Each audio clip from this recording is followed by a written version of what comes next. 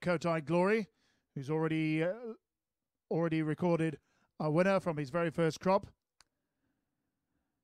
And this colt is the first foal of the dam, herself a daughter of the two-time two-year-old winner Jira, who won in Stakes Company, and it's the champions family of Time Charter. Kotai Glory Colt from Aguirre Bloodstock, lot 86.